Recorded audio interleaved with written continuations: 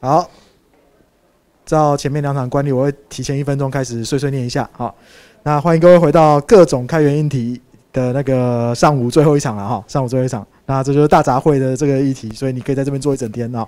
那我们下一位的讲者是 Owen，他在游戏跟 GPU 产业界有超过二十年的经验，这个对我来讲就真的是大前辈了哈。那今天他要来分享如何利利用 FPGA 来创造自己的 ratracing GPU，并且分享自己的开源专案，开源的那个 Ray Tracing GPU 的专案。那讲实在话。这一场是整个上午里面对我来讲门槛最高的。我昨天还叫 ChatGPT 帮我用五岁小孩都可以懂的方式解释一下 FPGA 是什么东西啊。那总之别忘了哈，各位可以在官网上面看到这一场的呃共笔笔记。好，那所以如果你有兴趣的话，也可以打开你的电脑，打开你的手机，然后连到上面去跟我们一起笔记。那我就废话不多说，让我们掌声欢迎欧好，大家好，我是欧文。那今天讲这个比较硬一点的主题，但是其实我也是软体工程师啊，我不是硬体工程师。那我大概花了前年吧，花了六个月的时间，呃，去学怎么在 FPGA 上做一些东西。那如果我一个软体工程师花六个月都可以做得到，所以我相信大家，你你大家应该都是软体工程师吧？来 COSCUP 大会应该都可以做得到。那我觉得做这个东西有一个呃不错的。呃，边际效应嘛，是叫边际效应。另外一个效果就是说，呃，我在做的时候发现，我虽然我其实我是我现在是在半导体产业的软体工程师，但是我虽然懂硬体，但是其实事实上我在思考问题的时候都是用软体的方式去思考。当你去做过硬体以后，你就会知道硬体的人的思维是什么。事实上，你的软体要跑得快，你还是要懂硬体才行。那你可以在，如果你也可以在两边啊，软体跟硬体中间切换你的思维的话，对你将来会，我是觉得很有帮助了。OK，我先今天大概会讲一些这个，第一个就是我呃介自自我介绍，然后再来就是说介绍一下怎么开始。那我们今天这个筛选是呃，然后后面就会讲一下说呃软体跟硬体的思维有什么不同，然后讲一下简单的 ray tracing，然后最后是我我有一个 project，那个是 open source 的，如果你们有兴趣都可以去 download。然后，呃，首先就是先讲我自己。我其实一我其实是 game developer，我以前是做 game 的。然后后来我呃不小心的跳到半导体，我那时候去 ATI，后来被 AMD 并购。然后，然后在那边呃我我那时候跑去加拿大工作，然后在那边做了。可是我做的时候我是呃在 GPU 的部门嘛，然后。跟 Game 还是有相关，因为我的主要的工作就是帮助 Game Developer 去怎么样针对硬体去做最佳化。然后后来，呃，我后来又回台湾，回台湾以后我又开始做 Game，然后做 Game 做一阵子又失败以后，又又跳回去呃半导体。啊，现在在 ARM 啊，那 ARM 也有，可能大家不知道 ARM 也有 GPU Arm 除了 C P，大家都可能都只知道 ARM ARM 是 C P C P U，但 ARM 其实也有 GPU，像是联发科啊、神送啊。呃，小米啊，OPPO 都是用我们的 GPU，所以我对 GPU 是蛮有了解的。但是，呃，我对硬体的架构是有了解，但是那是 high level 的架构，实际去做的时候，呃，完全不一样。对，所以今天就是这个经验的分享。然后呢，我讲一下，就是我这个是我做出来的一个 ray tracing，那我想办法让它做到一个最简单的情况下，可以做出一个 ray tracing。所以它里面东西其实很简单。那至少基本的 ray tracing 该做的事情有做，然后这个筛选不是大家都软体工程师吧？没有硬体工程师啊，不是给硬体工程师的。这个对硬体工程师来讲，可能是幼幼班的程度，所以 这个是给软体工程师呃的一个呃入门 FPGA 的一个介绍。那我我刚才有讲，我大概花了六个月从零开始，从我本来不知道呃它的语言叫做 Vlog 嘛，我从零开始学习。虽然说花六个月啦，其实其实花五个月啦，中间有一个月我都在打那个空洞骑士，然后有一个月都没在做。好，然后再来是，诶，OK，就是说你你你 FPA 其实它蛮有趣，你可以把你的软体的演算法去把它转换成硬体，你一样的演算法，但是你要用不同的方式去做，不同的思呃思维方式方式下去做，那。对于软体工程师来讲，这个其实蛮有帮助的。你去思考一下，硬体到底是怎么做，硬体是怎么加速的。OK，然后其实现在在 GitHub 上不是只有软体的 project，这种硬体的 project 超多的。哦，我我也从上面啊呃偷拿一些东西来用，有些东西我实在不想写，我就从从上面来抓。像处理记忆体的部分就很繁琐，我就就比较不想写。对，好，我们先看怎么开始。那其实基本上，啊，你要做现在其实 FPGA 很便宜，然后呃就是你写完以后马上烧进去就可以看到结果。我我大学其实我是读电子系，我大学的时候。也有读过呃数位逻辑，那时候是要自己画那个逻辑闸，然后画完以后，你怎模拟也不知道跑出来结果会怎么样，只能看那个波形，那就很无聊。可是现在的 FPGA 你就可以直接写进去，而且速度够快。现在大概可以到一百 MHz，可以做一些很多事情啊。那首先呢，你要开始呃，这就个入门嘛。首先你第一个你要学会它的语言。它其实就像你的，你你你如果是软体工程师，你会不会想想成 C 加加啊，或者 C 啊，或者是 Java，反正就是一种语言。那我我早期我在读大学的时候，那时候就没有这种语言，你就只能画逻辑闸，然后这边连线牵那个线很无聊，超无聊的。那现在这个就很方便，然后再来呢，你你要有一个 EDA 的工具，EDA 的工具你可以把它想象成是像是 compiler 一样，就是把你的语言转换成机器可以懂的嘛？那它这个就是把你的语言转换成逻辑闸，然后再转换成 FPGA 可以写进去的呃一个 string，然后你就可以烧进去了。然后最后你要一个硬体，一个 FPGA 的板子。好，那那个现在就是挺便宜的，而且现在有各式各样的板子，有的板子上面呃还有一颗 CPU，然后你还有一个 F 呃 FPGA，那你可以。让这个 FPGA 只是辅助 CPU 去做事情，哦，做一些加速的事情，所以其实很方便。然后它有各式各样的呃输出可以可以去串接。OK，我们就先来讲一下 HDL。那现在主流就是有两种，一个叫 VHDL，一个叫 Verilog 了。那 H VHDL 是呃基本上它很像 A 打了，不过事实上我也没用过 A 打了，我是超 Wiki 的，因为因为 V VHDL。啊，看起来就啊很冗长，看起来就是很过时的语言的感觉，所以我就就直接不没有没有用了。但是如果你要去，因为我们呃做这个的时候会用一些外面的 IP，所谓外面的 IP 就是别人写出来的一些逻辑闸。那但是就就你可以想象成是一个 library 的概念，啊很多还是用 VHDL 写的，所以大概知道一下就好。但是用它来写会蛮痛苦的。那 Verilog 就是呃用 C 的概念，很像 C。你可以看到旁边这个那个城市码哦，有没有看起来很像 C？就很像一个方选。那基本上呃，你设计硬体就是把把很它它不叫做方形，它叫做一个 module，一个 module 就是一个小小的 module。那你的硬体就是把这些 module 全部连在一起，然后就做出你想要做的事情。但是呃，我看一下。哦，对，那它不像不像城市码是是是序列的，大家就是你你抠谁，他在抠谁，一直一直一个一个 hierarchy 下去嘛，对不对？但是呃，在硬体没有这回事，大家就是一个电流过去，就大家一起跑了。所以说，唯一的方式就是用 clock。好，我们常常讲说几 mega 赫兹啊，几几几 giga 赫兹啊，那就是 clock。每一个 clock 就是你一秒钟可以跳多少下，那它就是靠这个信号，就是我我达到。这个信号来的时候，我就做这个事情，就做的事情，大家就靠这个信号来同步。然后呢，呃，我刚才说你可以把它想象成是一个方选嘛，其实它就是做一件特定的事情。但是有一点要注意的就是，尤其是 software engineer，就是我当初也是这样，我会我会在一个 module 里面写一大堆东西，我以为它是方选，我就抄写一大堆东西。但事实上，硬体的硬体的呃运作方式不是这样。你想想看，一一百个 mega 赫兹的话，表示它呃。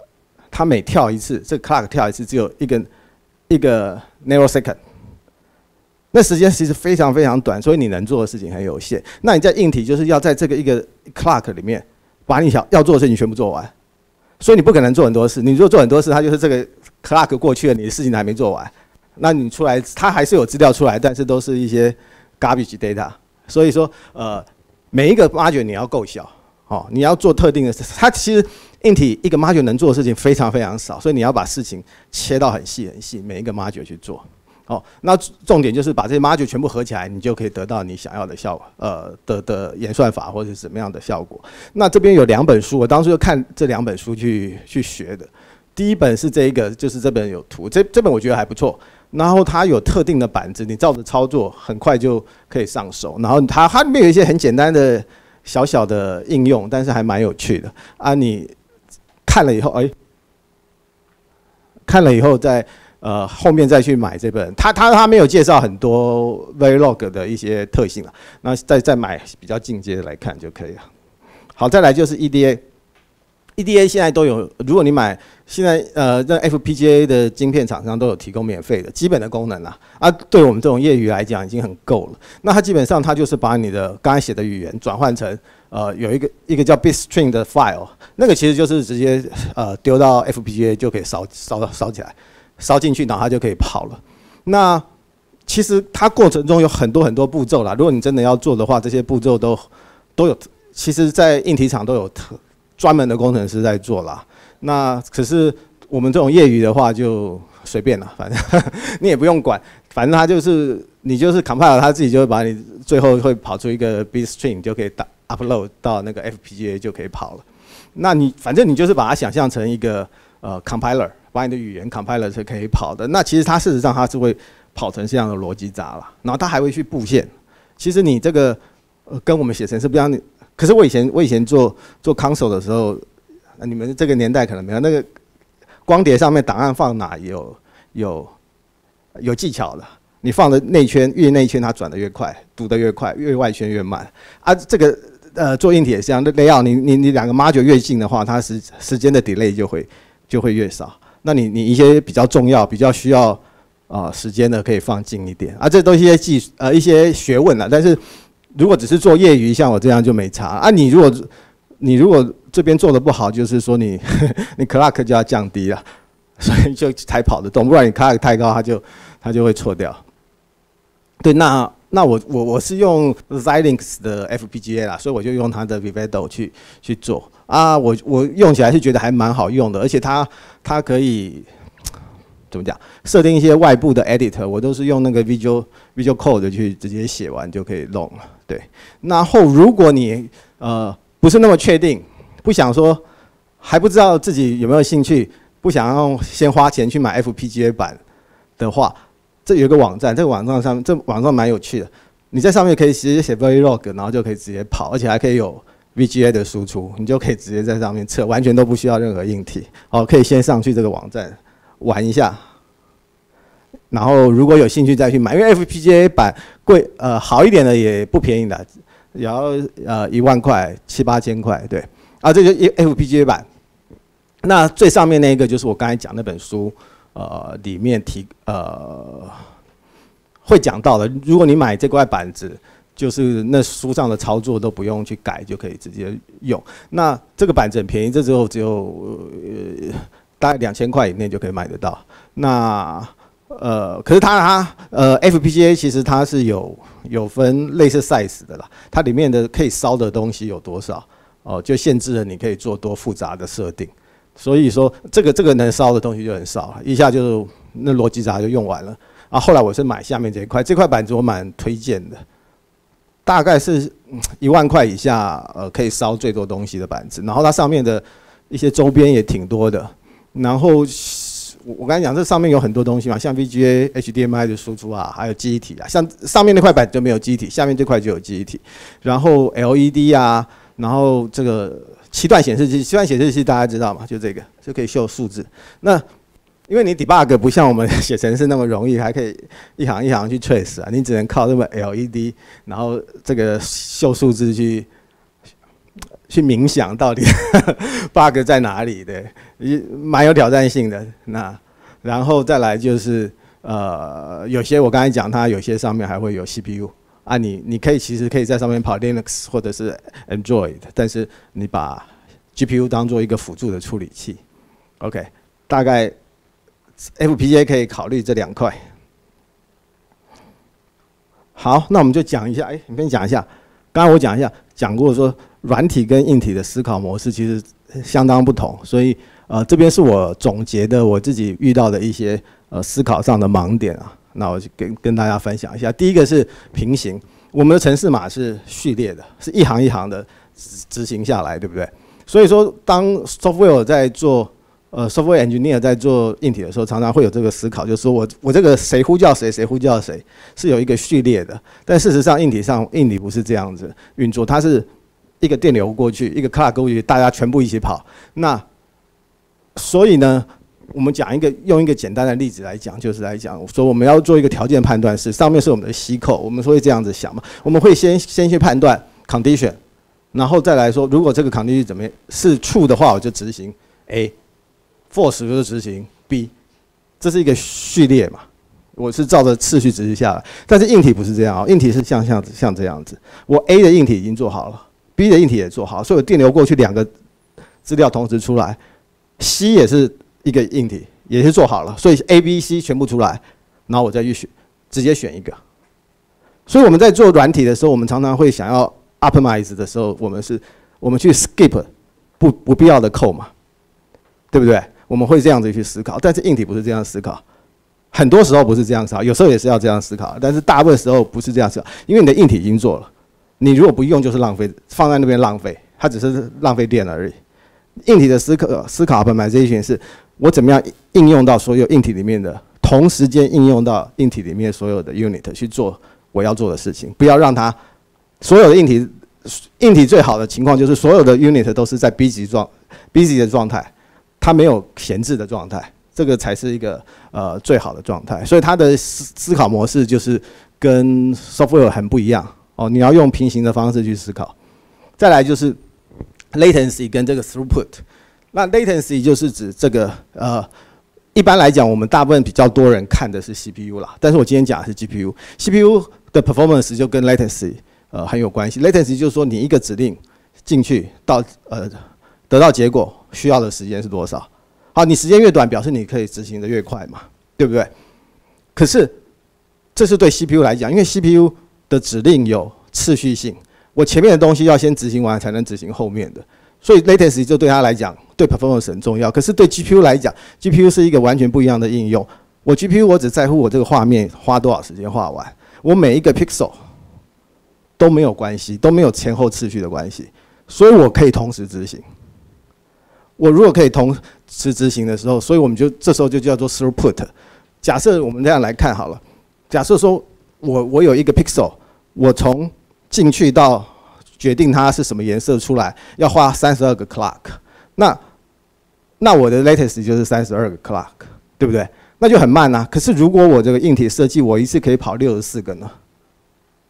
那我变不变成我一个 clock 可以出出来 throughput 是两个 pixel，所有的 latency 就变很短，也不能说 latency 我的 throughput 就变很大，就可以达到我的要求，因为我我只在乎我一个画面。要多少时间才能完成？我不在乎哪一个 pixel 先画，哪一个 pixel 后画。哦，这个就是 CPU 跟 GPU 一个很大不同的概念。那现在的 GPU 就是靠着这样的方式来加速了，对。然后再来就是 pipeline 的概念。那这个这个也是软体工程师比较会啊。哎，为什么它是滑鼠游标一直在那？好，没关系。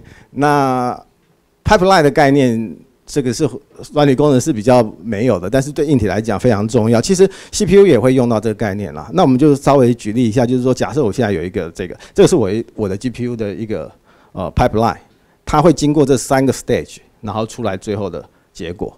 那第一个是 Surface，第二个是 Shadow，第三个是 Shading。那如果我把这三个 stage 做在一个 unit 里面。那每一个都要花五个呃五个 clock 好了，所以说我每一个 pixel 出来，我就要花十五个 clock，对不对？那可是我我我今天它是这样子流水线下来，那我当我在处理这里的时候，我这边是不是都空的，都没有用了？那这就是对硬体来讲，这就是浪费。那最好的方式是你全部的东西都同一个时间都有在用，所以说 pipeline 概念就是我把这三个 unit 分开来，分成 surface、shadow、shading。我第一个 pixel clock 零的时候，我第一个 pixel 进来处理 surface，下 clock 五的时候，我第二个 pixel 进来，但是第一个就往前推了，有没有？它就在这边处理 shadow，然后这边处理 surface，然后这样一直往前推，一直往前推。那这时候我一个 pixel 只要花五个 clock 就可以出来了，就会快很多。这就是 pipeline 概念。其实 CPU 现在也有做 pipeline 概念了，但是它原理呃应用的方法不大一样，它是每一个指令。有分解码啊，不是先 fetch，然后再解码，然后再去做呃执行，这样分好几个 stage，每一个指令它会有 pipeline。那我们常常 pipeline 它其实是用了一个物理的概念来来来描述了，就是说你的硬体像跟水管一样，那什么时候你的效率最佳呢？就是水管里面都充满了水，对不对？那所以像像这里，这里就叫做 bubble，哦，你的水管里面有 bubble，那就表示你出来的东西就变少了。哦，所以在硬体上是这样子来比喻，所以你的想就是要想办法尽量让你的 bubble 变少。那 pipeline 又特别适合于 GPU，就是在于说 CPU 是有次序性的、有相依性的。你常常后面，你如果就算你这样子设计 pipeline，如果你走到这里的时候，你需要前面的 data，前面还没出来，你还是得等。但是对 GPU 来讲，每个 pixel 基本上是独立的，所以基本上它这个运这个 pipeline 的。呃，设计会运作的比较好。OK，那我们讲一下简单的 ray tracing。还有，我现在讲了多久了？好，十分钟，好，好，讲快一点。OK，ray tracing。那 ray tracing 其实很简单。呃，早期 rendering 都是用 ray tracing，但是 ray tracing 的问题在于计算太多了，硬体负荷不了，所以才有现在这种 resolution，就是一个 triangle 一个 triangle 来画，那就要花那个那个可以很快，但是其实。它很 tricky，它很多一些 奇奇怪怪的呃特殊状况。那 ray tracing 就一套用到底，所以我后来呃决定 GPU 用。如果我 GPU 如果做传统的话，我要做很多事情，我要从呃世界坐标转换到呃物呃 local 坐标转换到世界坐标，世界坐标再转到呃。那个投影坐标再转换成荧幕坐标，然后再去做 ray tracing，就很多很多很多步骤啦。ray tracing 就很简单，所以我就选择做 ray tracing。那 ray tracing 就基本上就是追踪光线而已。那我们都知道，我们会看到一个物件，是因为光线打到上面弹到我们眼睛嘛。但是光线是往各个方向去漫射，我们不可能追踪那么多光线嘛。那我们只只在意的是我们画面上的呃 pixel。那我们就是反过来推，就是从我们摄影机射一条线，透过这个 pixel 看到会打到什么物件，那我就画那个物件出来就好了。那很简单。那这个有一个 GitHub 上面有一本，这个有一个这个你们可以去找 Ray Tracing in One Weekend，它有三本书。那你读第一本书，大概一个下午就可以读完，你就大概知道 Ray Tracing 的基本的做法。Ray Tracing 很简单，就一套公式用到底就好了，就可以用在各种状况，然后去递回就可以了。再来。Ray tracing 有一个很重要的，就是呃，这个传我们现在 GPU 其实都还很难做，就是 reflection 反射。那反射怎么做呢？其实很简单，就是一样用同样的原理，就是一个 ray。你现在你现在知道我要画呃，我从眼睛打出去，我知道要画这个物件了以后，那如果这个物件它是呃，比如说像镜子一样，它要反射的时候，我就算出一个它的反射的 ray，然后看它打到什么物件。然后，如果它再打到另外一个物件，就是把它的颜色加起来。那可能它打到的物件还会再反射，那我再继续打，一直打，一直一直一直 recursive 到呃打到不会反射的物件或打到天空为止。那把这所有的颜色全部加起来，然后做 blending，就会达到这个呃反射的效果。好，再来就是 shadow，shadow 也是啊，传统我们现在 GPU 都是用一些非常非常奇奇怪怪的方法在做 shadow，然后而且还很多。Artifact，那 Ray tracing 的 shadow 就可以做到很漂亮。那原理也很简单。我现在比如说，我现在呃，我从眼睛射一条线，然后我发现我打到地上，我现在要画地上的这个的 pixel。那我再从这个点再射一条线，一条 ray 到光源。那在这过程中，我如果打到任何物件，就表示我不会被光照到嘛，对不对？那就表示这个点我是在 shadow。如果我像这个嘛，这个它从这里射一个点往那个光源，哎，我画错了，有点跑掉，好，应该是这样子，然后它就打到了，所以它就表示它是在 shadow。那如果我现在是要画这个点，它往这个光源打，中间没有打到任何东西，就表示它不在 shadow，它会被光照到。OK，所以说很简单。那你可以看到，全部都是一条公式，就是 ray 有没有打到物件。所以你只要 implement 这个 ray 跟这个空间中物件的碰撞。你就可以做出所有的东西了。那所以这个那呃，所以它它它 ray tracing 最花时间的就是在空间，就是 ray 跟空间中所有的物体的碰撞。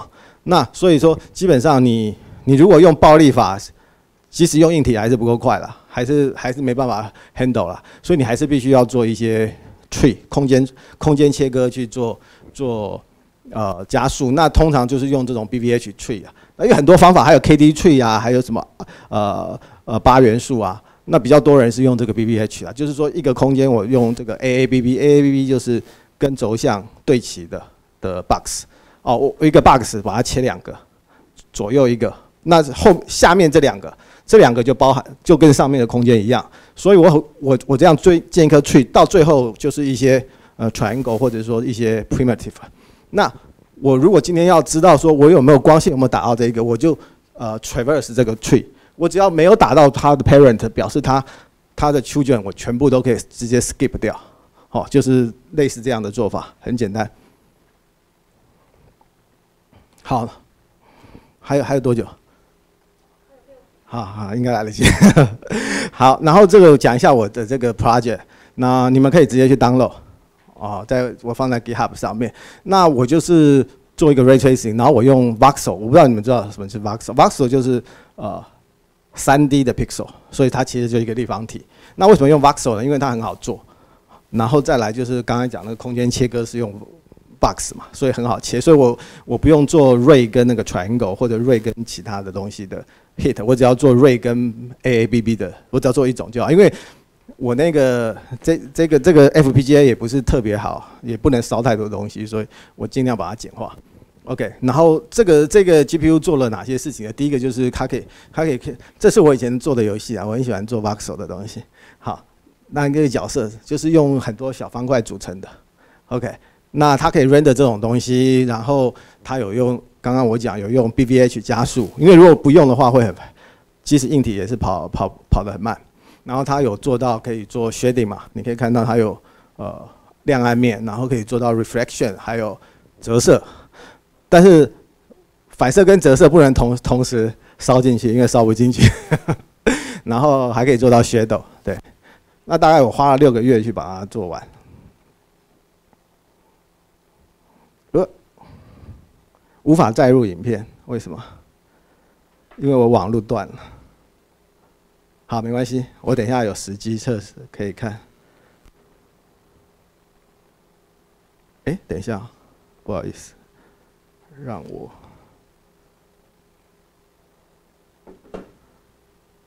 好了，算了。呃，这个是这个是我那个 GPU 的 architecture，那其实蛮简单的。它上面有一个 thread generate，它会产生各个 thread，一个 thread 表示一个 pixel，然后它就丢下来给下面的 ray core。ray core ray core 就是一个 unit，它 handle 整个一条 ray，就是一个 pixel。的位置，然后到最后它颜色是什么，它就出来。那它的设计，我的设计就是它这个 recall 可以，这个呃跟软体跟硬硬体跟软体不大一样地方，就是我我要加速，我就是做很多就可以加速了嘛。所以我我的 record 是可以呃从一个或者到十几个、三十几个都可以。我如果速度不够快，我就加加。但是我的那那个 FPGA 烧不进去了，所以我我只有做一颗啊。然后旁边有一个刚才我讲这个 BBH 的 structure 跟一个 primitive 的 structure。primitive 就是你画出来的方块哦。然后 recall 去跟他们要，然后最后有这个 frame buffer 的 writer 跟 reader。然后 memory 是在外部嘛，然后通过一个控制器来存取，然后最后就是输出到那个 VGA。那这个这个这个这两边是同步的啦，因为你做硬体，你都要把它想成是一起在运行的。然后这个 record 里面的架构就是这样，它有三个 stage，它是一个 pipeline 哦，一个东西一个 string 进去，它就经过这 pipeline 流出来。后面会讲一下。OK，我我刚才有有稍微提过了，thread generator 它就是会产生呃我需要的。Thread 根据我有几个 record，它其实那个 vlog 它有点像 C 的那个 Macro，它可以用一些呃嗯怎么讲？这要怎么讲？就是说你你写程式的时候写一次，但是你可以设参数，比如说八次，八个或九个 Module，对你就可以这样呃控制你的类似用那个 Headfire 去控制你的呃，record 的数目，OK。然后 BVH 的 structure 它就是记录了刚刚那个 tree，然后呃 record 会去跟他 query 说我现在要哪一个 node 的资料，它就会传回来。然后 primitive unit 就是说我要哪一个这个呃 left 的的的那个 primitive 的 data 啊会传回来。，record 我刚才就讲，它就是 handle 整个 pixel 的流程。然后再来就是这个 frame buffer writer。那有一个这个这个比较比较特别，就是说其实你要一个 cache，就是因为你做 ray tracing 的时候，你一个 pixel 如果它没有反射，它很快就会得到结果；如果它要反射，它要好几个 clock 才回来。所以每一个 pixel 回来的时间都不一样，所以你必须有一个 cache，然后等到所有的东西都回来以后，再把它写到啊记忆体。啊，写对，写到记忆体。OK OK，应该来得及。然后这个就是呃 record，这是最核心的部分。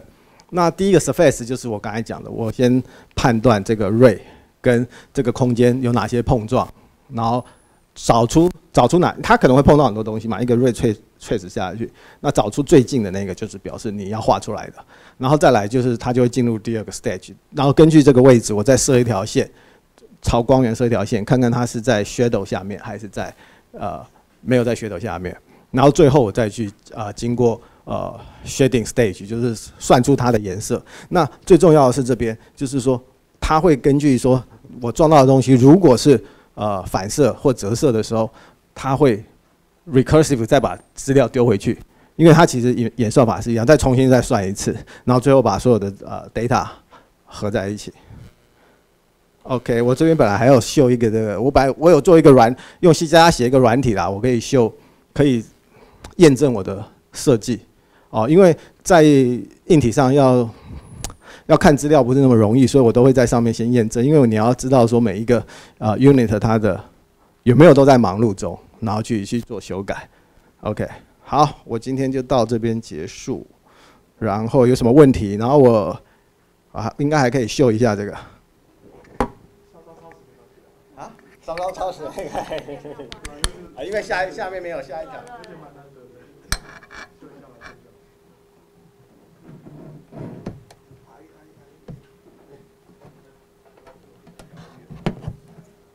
这个就这个，哎，我先。可以可以可以。对。这个这个就这这就是很小，然后我现在已经把东西烧进去了。用这个，还是这个？现在打开了，我看看它会不会有东西出来。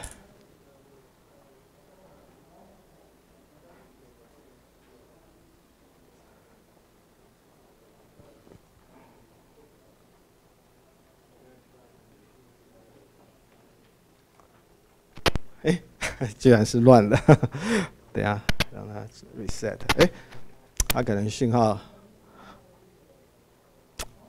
还是有点差。不晓得，可能 spec 有点不一样吧。再再试一次，可是我在家里电视是 OK 的。好，哎，出来出来出来出来了。OK，这个就是这个就是我的，然后我可以用上面的它去做一些空。你可以看到那个有。呃，有反射嘛？我故意做三个，哦，有没有发现？所以它反射到它，它再反射到它，所以它它它可以做一直反射下去，然后可以透过硬体去控制，说你最多反射几次就停住了。因为你如果无限制的下去，它可能反射不完了。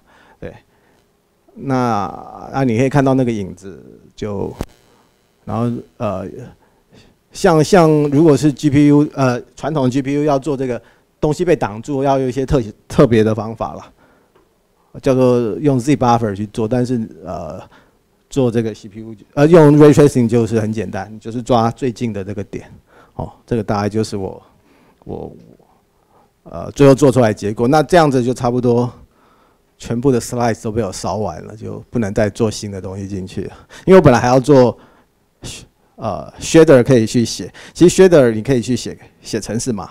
然后它可以 run 一些城市，但呃，后来就 就一直打电动，就没有再 继续。OK，大概是这样，然后还有时间吗？还可以吗？对。可以可以可以。哎，你帮我。帮你放。啊，插一，我先弄一下网络。是不要插对不对？插这个，插这个，好。你先帮我拿掉。好，我方便啊。好。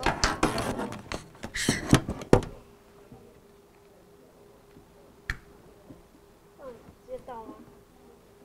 比较大。看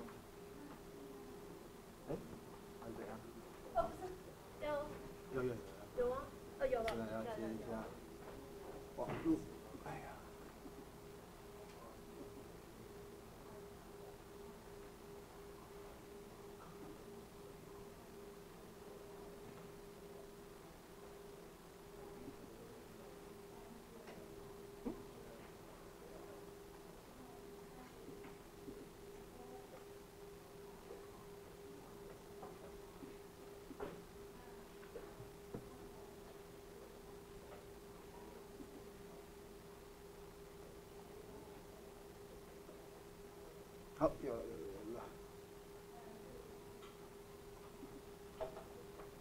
这个不知道看得到吗？这就是我用写出来的。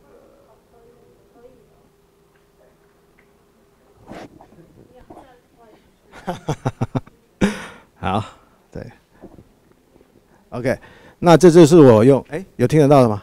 就是我用软体做的它的验证的工具。那你可以看到，这就是这个 pipeline，三个 pipeline。啊，你这是一个时间嘛？这样一个一个下来，你可以看到这边很空，有没有？这是浪费。那为什么会这样呢？因为这边处理的工作比较简单，这边比较复杂。啊，我现在是一比一比一嘛。那如果你有了有这个工具，你就可以很简单的看出来，哎，我这边有很多 bubble，所以我这边应该要做上面的东西要多一点。所以它有比较多的资料让它来处理，所以可能是四比二比一会比较效果会比较好。那这个工具就是主要就是在做这个工作，因为如果你用 FPGA 直接去看不大出来，用这个软体会比较容易。那这个我本来有想放到 GitHub，可是感觉好像只有我自己会用而已，其他没什么用，没什么对其他人没什么帮助，就没没有放上去。对，OK，那我差不多结束了，谢谢。有没有什么问题？这个就用 C 加加写的。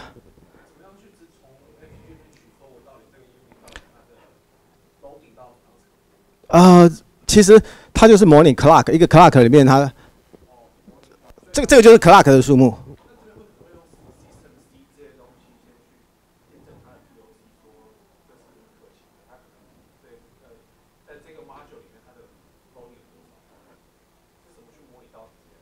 呃，其实它没有，其实呃，真的 EDA 它可以做到很精确的模拟，但是我的只是很高阶的模拟，我只是想要知道说每一个 unit 的负担到哪里。那所以说其实很简单，我就是一个 clock，我看他有没有做事嘛，有我就加一，然后算出来谁谁没做事，这样子对。那其实像我们的我们自己加的 GPU 里面，硬体里面就有放这些 counter。可以抓出来，我会就可以看这个 clock 有在做事还是没在做事，你就可以知道现在的我们我们的理想就是你这个 GPU 百分之百都在 busy，那是最好的情况，对。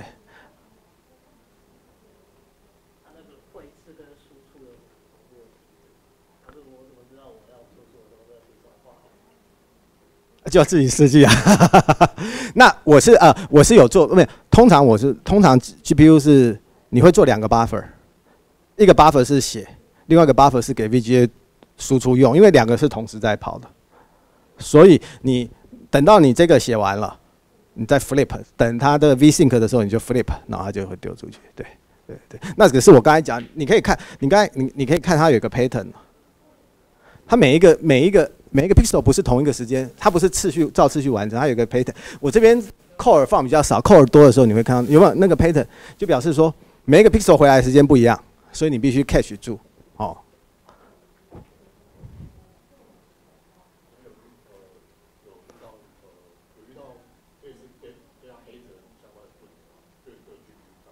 你说遇到那个，呃，说我刚才就讲 CPU 比较会遇到，我这个没有遇到。可是因为我的很单纯，我一个一个 pixel 下去，我只有一个最近的点会画出来嘛。所以基本上不大会遇到这个孩子。可是如果我做的比较复杂以后，一个点上面会可能会有好几个，那我下一个点可能要等上一个点做完。比如我要做 alpha blending 的话，我要等下一个完前面一个完成，我才能画下一个嘛？对，因为我要知道前面的颜色，那时候就会有孩子。对，像我这个这么简单就不会有。对，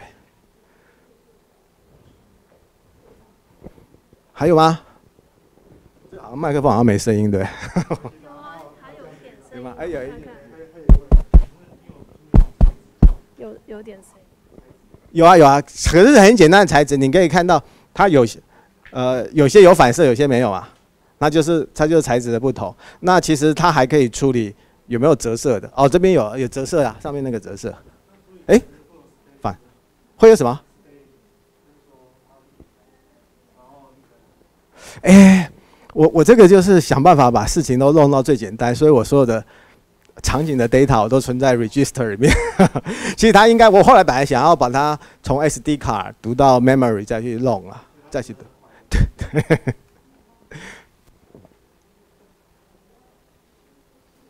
最后一？最后一个，最后一个。哦，没有没有跟 PC 端沟通啊，完全没有啊。对对对对对啊！你们可以其实现在那个 GitHub 有很多，上次上次我看到有个有一个人用 FPGA 做了一个可以把那个呃 Minecraft 直接读进去，然后就可以跑的。然后他有 Open Source，可以可以去看看。对。